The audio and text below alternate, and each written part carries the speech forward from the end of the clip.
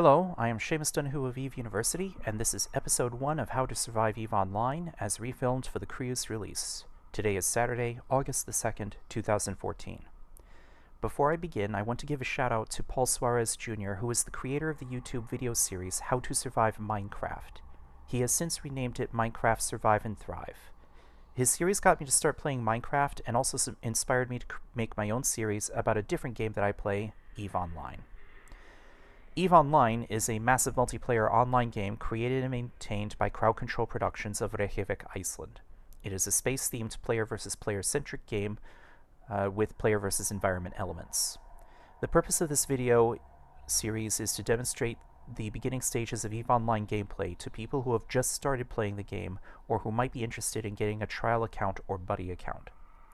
This series will also teach what I believe are reasonable good practices for new players just getting started in the game. These are not necessarily best practices, as best practices sometimes varies by opinion, playstyle, and what level of risk you're willing to accept. For this series, I will be playing in a relatively safe and cautious manner, though other playstyles are both possible and viable.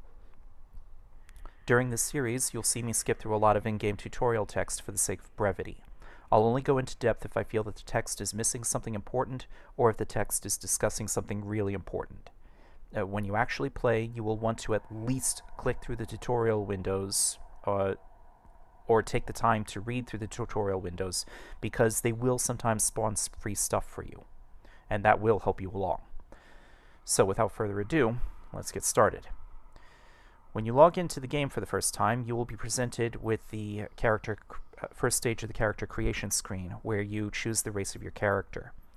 These races are simply the different descendants of humanity, and ultimately it doesn't matter which race, bloodline, gender, or whatnot that you choose for your character, because you can cross-train into any other races, ships, and equipment.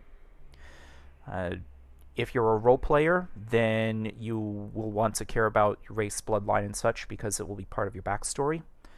Uh, if you care about the appearance of your avatar, then again, these same choices will have an effect, and you can resculpt some aspects of character creation later, but not all of them. So if you care about how your character looks, you may want to take the time to do it right the first time. For this series, though, I am going to create an Amarrian character. The Amarr Empire is the largest and oldest of the four empires. Ruled by a mighty empress, Amarr is a theocratic society capable of selfless acts and unspeakable evil, all in the name of their god.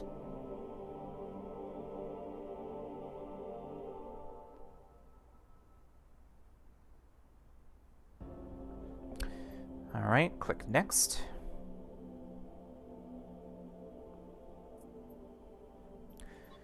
Bloodline, gender, click next.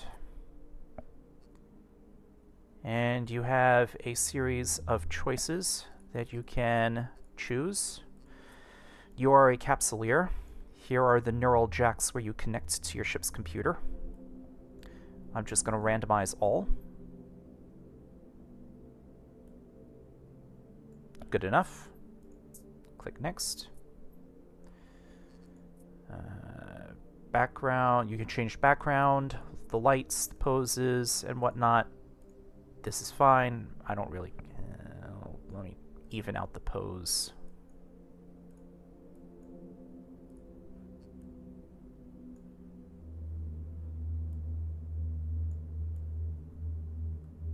Yeah, there we go. Click a camera icon. Click next. Uh, ancestry is also a detail only relevant to role players, doesn't have any effect on your skills or whatnot. Uh, your education determines which NPC starter corporation you start off in.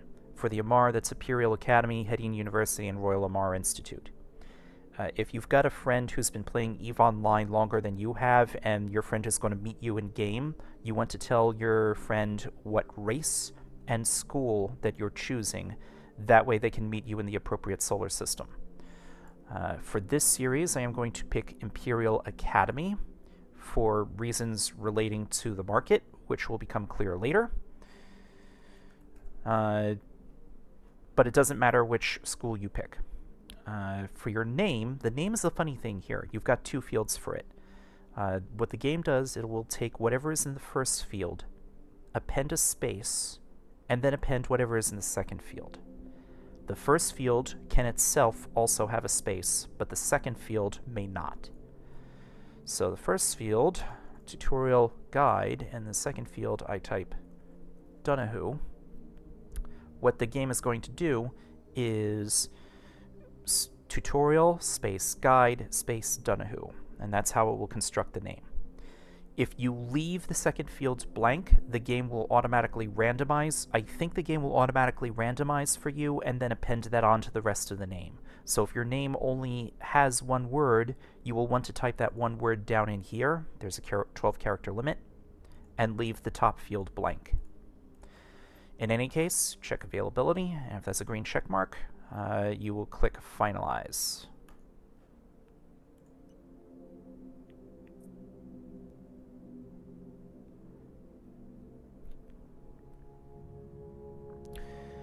The default view is you're going to be in station and your avatar will be walking around in your captain's quarters, which is relatively new. It was introduced in the Incarna expansion about two or three years ago.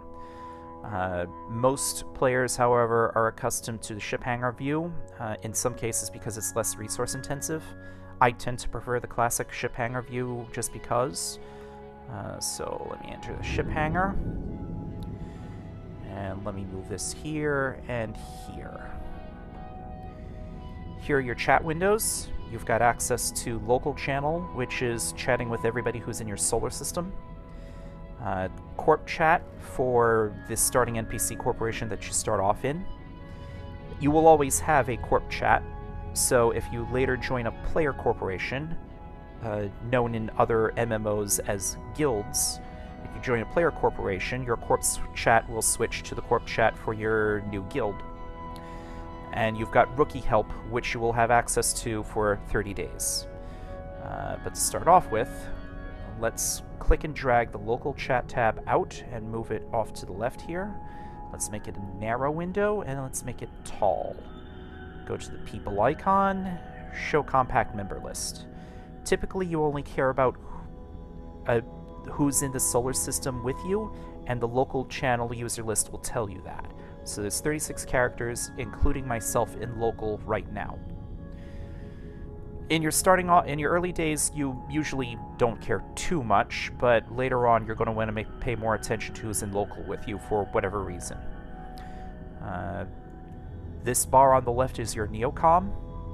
A lot of interface elements will be buried under here somewhere and you can reconfigure your neocom so you can right click an element remove you can also go to the eve menu and click and drag it from the eve menu back into the neocom it will always be present in the Eve menu. Certain elements of the Neocom are static and cannot be changed. This is the time and calendar access at the bottom, the Eve menu, your character portrait, your skill training bar, and your chat channel uh, controls. Everything else on the Neocom can be reconfigured. Uh, let's bring, go to the Eve menu, and just because I'm a creature of habit, I'm going to want the ship hangar and the open the hangar floor, also called the item hangar. Drag this down here. Make a little smaller. Open the ship hangar. I can merge windows together by clicking and dragging one title bar onto another title bar until it highlights, and then let go. Now it's two tabs of the same window. I can also drag this out here, like that. Uh, let me go to the escape menu. General settings, easy theme selection, steel gray. Uh, general settings, open radial menu with middle mouse button, uh, display and graphics, I'm going to turn off camera shake. Alright, now we're ready to get started. Uh, To start on our first tutorial mission, we click on the Agents tab, and we click on the show the start conversation button with Aura, our ship's computer. And Aura wants us to go out into space in our capsule here. There's our capsule. Aura wants us to undock our capsule, go out into space, grab a ship, uh, grab something else, and then come back. So we're going to click accept. And we're going to close. And undock.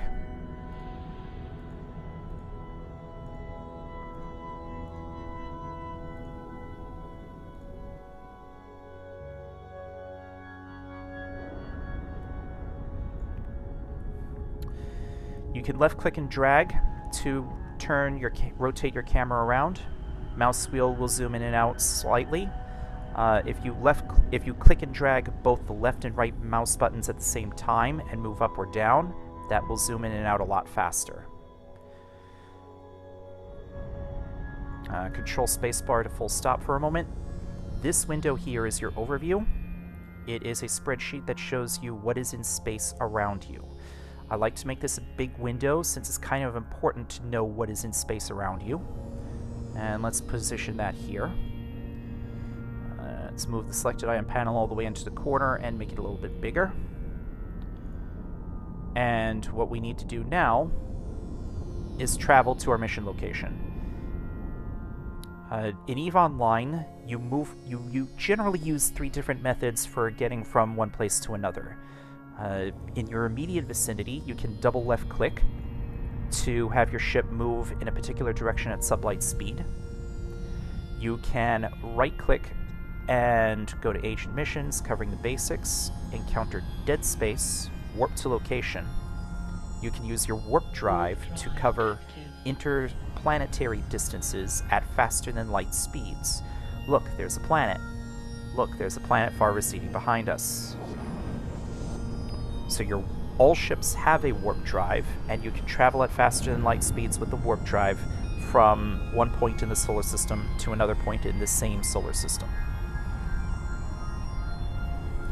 Finally, there are stargates, which are used to cover interstellar distances. We'll demonstrate that momentarily. Uh, well, several minutes from now, probably. So we've dropped out of warp, and there's an empty ship waiting for us. It's an Impairor called Impairor, which means there's no player in it right now. We right-click and board ship. Now we need to proceed deeper into the mission, and this acceleration gate will take us deeper into the mission. And we right-click the acceleration gate and activate gate. Warp drive active. You can also middle mouse, hold down the middle mouse button to bring up the radial menu. I've changed it to middle mouse button. It's left mouse button by default, but because you left click and drag to turn your camera, sometimes you accidentally left click and drag on top of something. And if you didn't change it to middle mouse button, that means uh, you're bringing up the radial menu. Kind of annoying, but anyway. So there's the cargo rig. You can left click on it, you, or you can right click and open cargo, or you can just click open cargo in the selected item box. And your ship is too far away to grab anything from it. So you need to get within 2500 meters, which your ship will automatically do since you told it to open the cargo. So we'll get in range to do that first.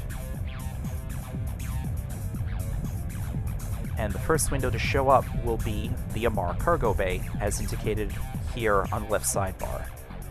We loot all, and the object is now moved into our main cargo hold. Uh, the other way to do it is you can open cargo, you can open your own cargo hold, and just left click and drag from one window to the other. But in any case, we have what we need, so we need to return to station. So we left click the station and we click dock.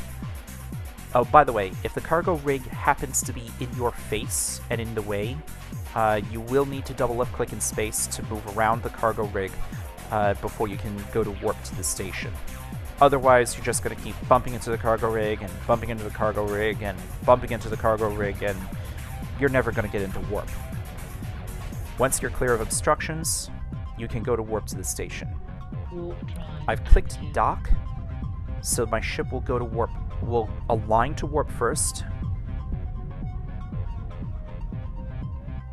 then actually go into warp.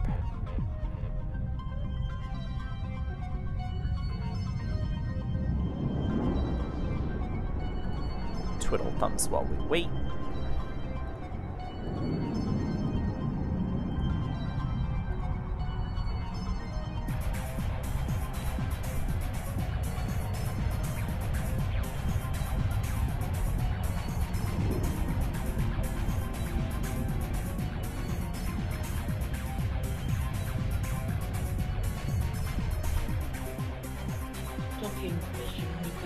We're a little too far to dock, so we cover the rest of the distance at sub-light speed, and now we dock.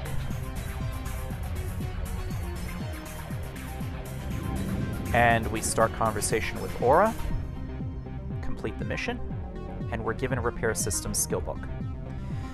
Uh, go to your Neocom and look for this thin black bar, this thin empty bar underneath your character portrait. And that will bring up your training queue.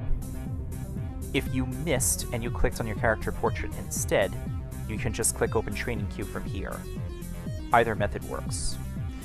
So in other games, you become more powerful by killing monsters or going on completing quests or doing crafting or whatnot and gaining experience points. And as, as, when you get enough experience points, there's a level, a single level uh, associated with the character you increase in level, and new and better abilities uh, are opened to you.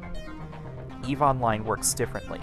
There is no single level associated with your character. Rather, you have a whole bunch of different skills which do different things, and these skills have levels. You can right-click this skill and inject a skill book, and we now have repair systems under the armor category drag that in, click apply. And this will start the skill training process. You will slowly accumulate skill points over time.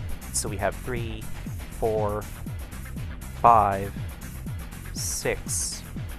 Uh, it's a little bit slow, uh, but it does do it over time and it will and you will accumulate skill points with if you're doing something, if you're not doing something, if you're shooting stuff, not shooting stuff, you're mining asteroids, not mining asteroids, if you're logged into the game, if you're not logged into the game, if you're out at the movies with your significant other, you are still training skill points in the background. This is a background process. You don't need to babysit it all the time.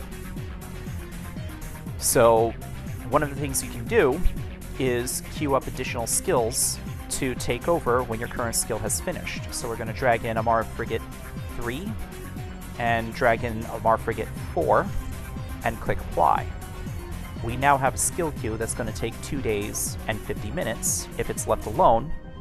Uh, so we're going to be training skills for the next 2 days. You come back tomorrow, you will have trained a day's worth of skills in the meantime. It's a background process, assuming, of course, you queued up skills to be trained. If you left your skill queue empty, you're not accumulating skill points. So always try to have something uh, in training at all times. I'm going to click apply because I'm paranoid and close this window. Let's request the next mission.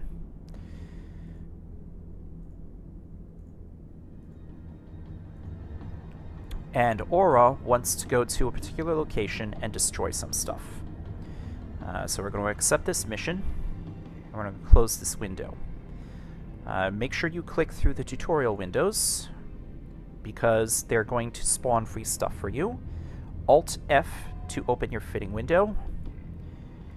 I'm going to click these headers to expand them. And we're going to drag in our laser and our civilian armor repair. Uh, Let's keep clicking through until it gives you a multi-frequency crystal, and we're going to drag that in as well. Now we undock.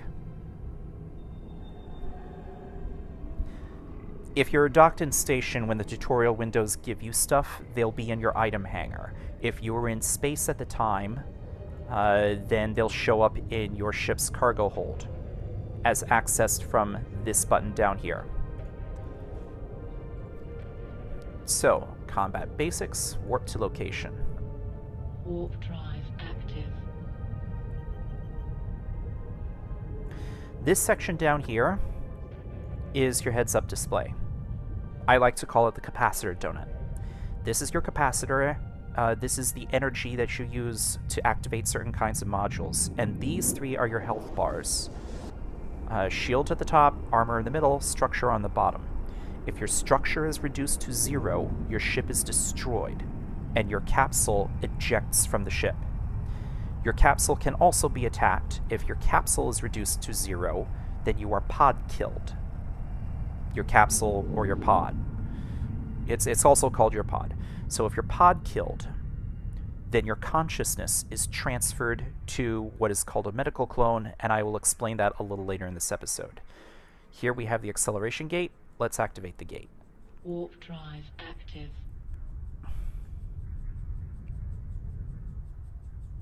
Alright, I'm bumping into the acceleration gate itself. Control spacebar. Let's turn the camera up, double click straight up. Let's get some distance. Now we activate the gate. Warp drive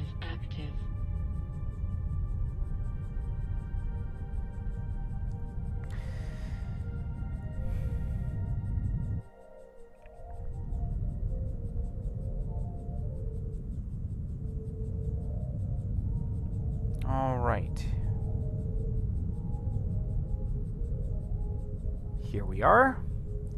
There's the fuel depot.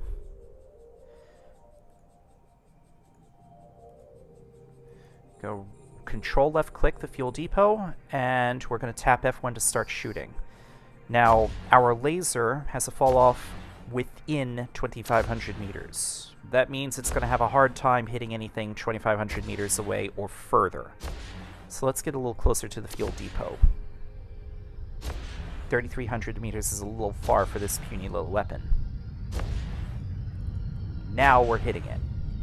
it. We've taken off the shields, we've taken off the armor,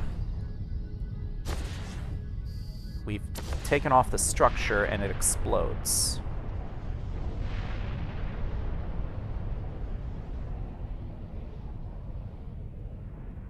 And our ship has taken some damage. So control spacebar for a moment. Uh, so the shields have been wiped out. They'll recharge on their own. The armor has taken some damage. Armor and structure do not regenerate on their own. You need a module to fix that, or you need a station repair shop to fix that. So you can click on the armor repairer. By the way, this is by default this is hotkeyed as Control F1, and your laser is hotkeyed as just plain old F1 and the armor repairer will consume capacitor energy to patch up your armor. If you don't have enough capacitor energy, you can't repair your armor. But the capacitor, like the shields, will regenerate on their own. Uh, we're supposed to go through the acceleration gate. Uh, you need to be within 2,500 meters, activate the gate, and if your ship is too far away, it will get closer. Alright, the armor has been patched up, we can turn off this module.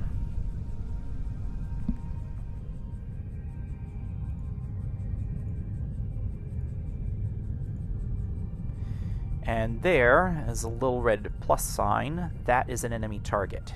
Control left click. And right click approach.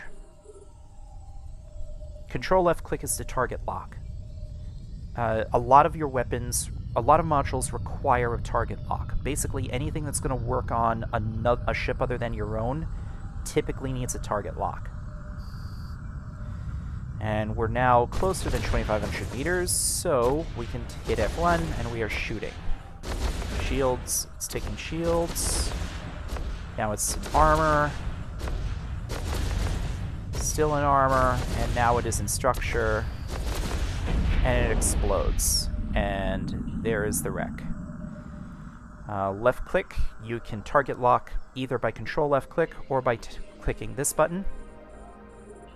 Both methods work. Approach and start shooting. You can open fire from beyond fall off range. You're just going to miss a lot.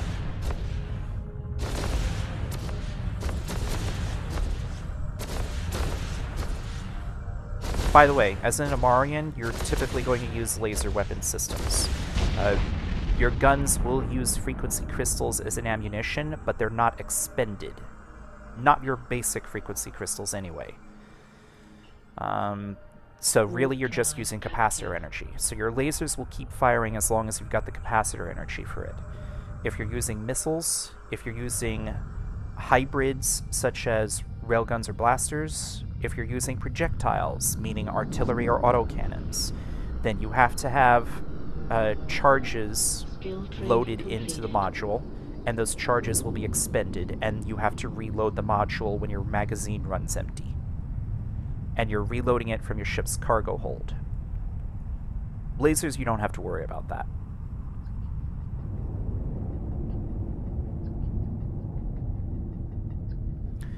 And skill training completed while I was flapping my jaw. So now we have repair systems level Docking 1. permission requested. Docking request accepted.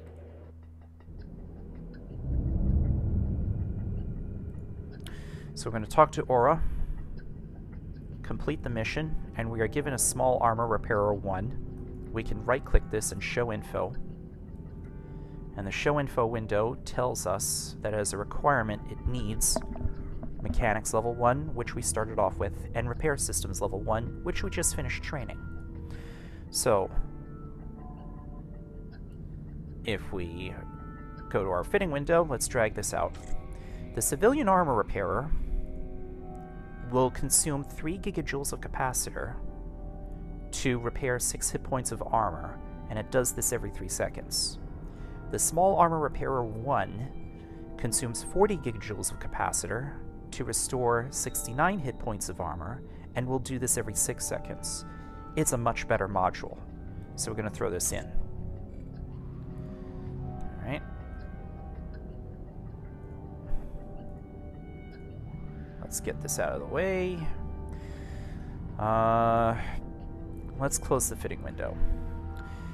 Aura now wants us to go to a particular location, get an item, and come back. And this time the location is in a different solar system. Right now we're in Shaven, whereas the destination is in Arbaz. So we're going to right click, set destination, then we're going to right click the link for the station and add waypoint. Set destination and uh, set destination will wipe out any existing waypoints you have and set it as your first waypoint. Add waypoint will just simply add another waypoint onto your existing route. If you don't have any waypoints, then set des- destination and add waypoint do exactly the same thing. So let's click accept, and we're going to close, and we're going to undock. When a mission wants you to go somewhere, it's kind of important to understand where the mission is sending you. So this Stargate icon is yellow because that's the next Stargate in our route. So we click the Stargate and we click. Hold on. We click the Stargate, we click jump. Warp drive active.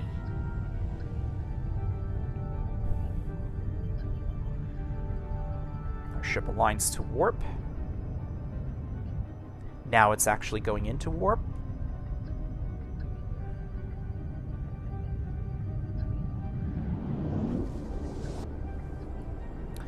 So, as I said before, you can travel at sub-light speeds, and you can use your warp drive to travel at faster than light speeds on interplanetary distances.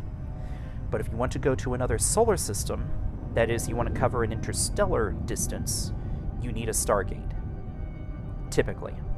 There are other modes of transportation, but these will be the three most common for most people in EVE Online.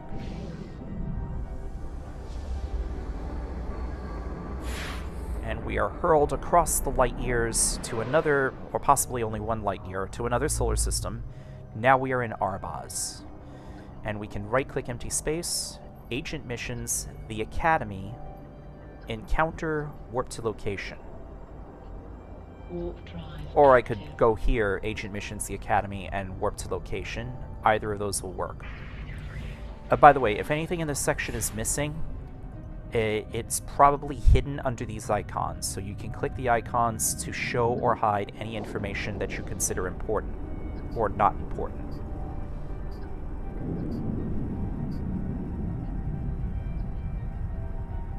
I forgot to explain the yellow exclamation mark.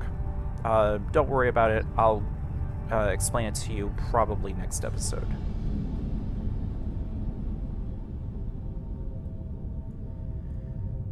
So here we are at the mission location.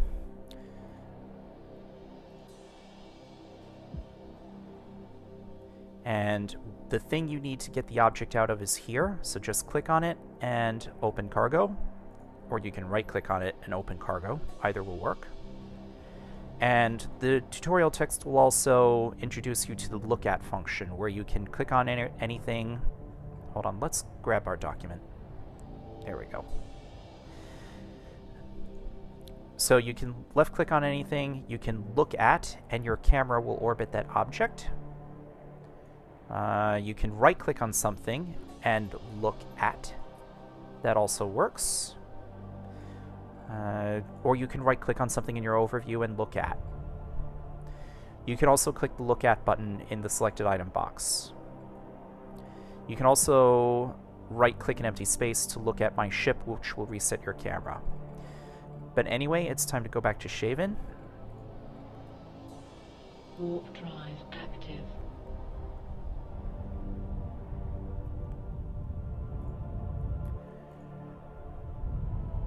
Uh, the tutorial text will tell you about the Interbus Ship Identification System, which, if you want to click on that, will give you a chart of the various ships for a given race, and you can click on the different races up here. I'm not going to waste your time with that. You can uh, you can browse that uh, at your leisure.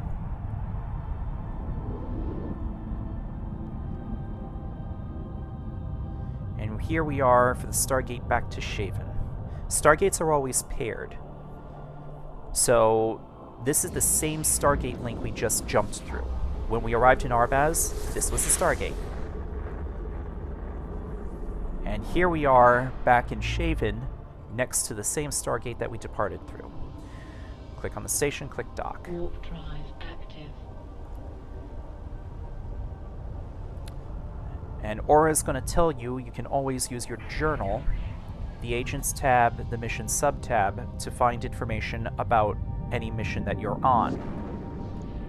So you can read the details. So, for example, here, this is a green check mark because we needed to do something at a particular location in Arbaz, and we've done that. We needed to get a cargo. It's in our cargo hold right now. Look, there is our cargo hold. There it is. So we have that. All that's missing is to bring this thing back to the station. Right. Docking permission requested. Docking request accepted. So now that we're actually docked in station, uh, you can, everything's green check marks, you can complete the mission. And when we request the next mission, Aura wants us to move something from where we are now to another station called Dipari, where we will find additional tutorial missions. So I'm going to right click Dipari 2 Imperial Academy and set destination. I'm going to click accept. And here are the clearance papers we need to bring with us. With any courier mission, it is important to make sure that the courier cargo is on board your ship. So if I double left click in this ship hangar view, that opens up my ship's cargo hold. Here, let me make this smaller. There we go.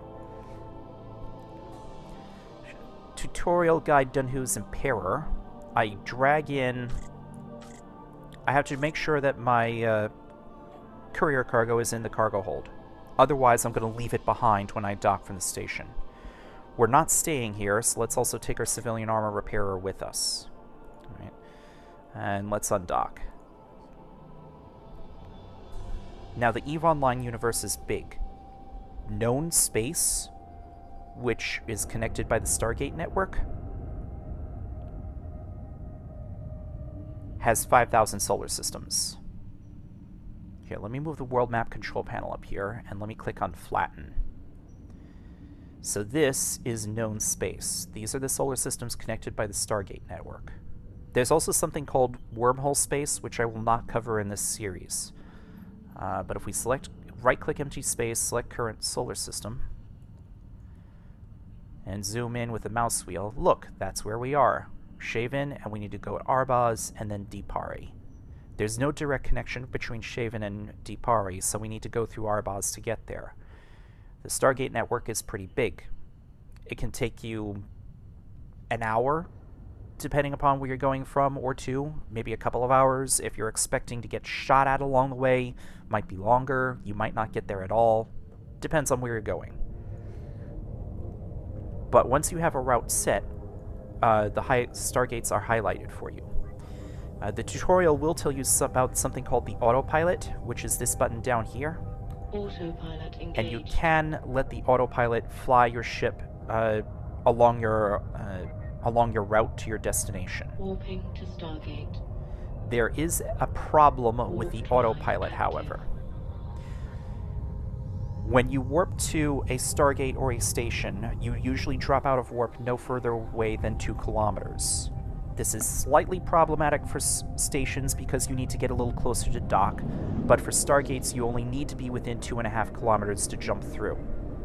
So if you tell your ship manually, if you manually tell your ship to jump through something, uh, you'll drop out of warp next to Stargate and you'll jump through. But if your autopilot is flying your ship for you, your ship will always drop out of warp 15 kilometers short of the destina- uh, short of the next Stargate or station. So now we're 13 kilometers away from that gate. Uh, and if we were in low security, if we were in dangerous areas of space, we could be shot at and killed while we're slow boating towards that Stargate. It's a lot harder to catch us if we're uh, warping to the gate at zero. Uh, there are different dangers associated with that, which I probably won't cover in this series. Uh, but autopiloting to a Stargate leaves you much more vulnerable. So I don't advise autopilot travel unless you're traveling through high security space, no valuable cargo in your cargo hold. For now, I'm going to turn off the autopilot.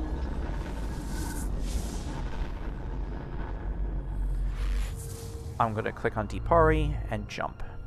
Warp drive active.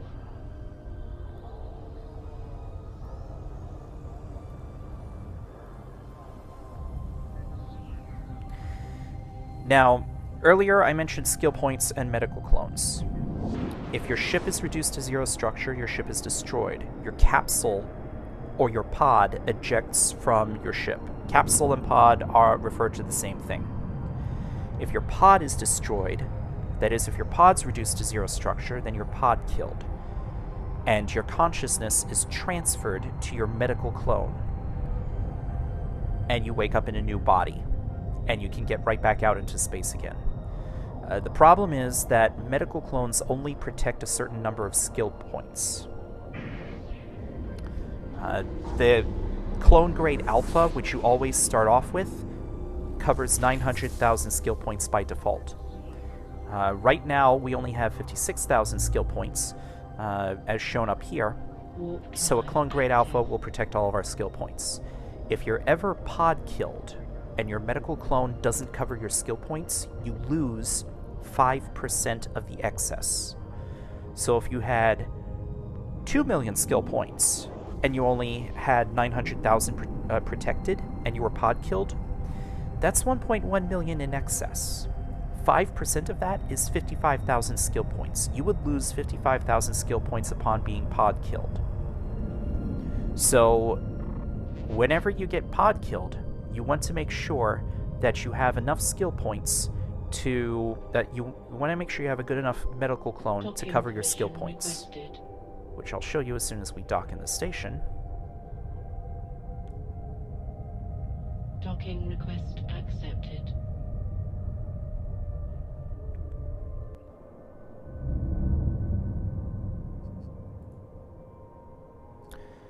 So here's the medical win- medical services. Here's the medical window. You cover 900,000 skill points with clone grade alpha. You can upgrade the clone to cover more skill points. And the longer you've been skill training on your character, the more skill points you have, the more expensive your medical clones will get. Alright? So whenever you're pod killed, always make sure that your medical clone you upgrade your medical clone right away. You don't have to worry about that as a new player until you start getting up to about 800,000 skill points or so, at which point you may want to upgrade to a clone beta. So just keep that in mind. Uh, let me see. I'll tell you about the market next episode. And get this out of the way. Uh, so let's talk to Aura as an agent and complete everything's green check marks so we complete the mission, it takes the clearance papers, and we are done. So these, so this is a career funnel hub, and these are the other five tutorial mission chains that I will be covering in the How to Survive EVE Online series. In the next episode, we will get started on the exploration chain. In the meantime, thank you for watching.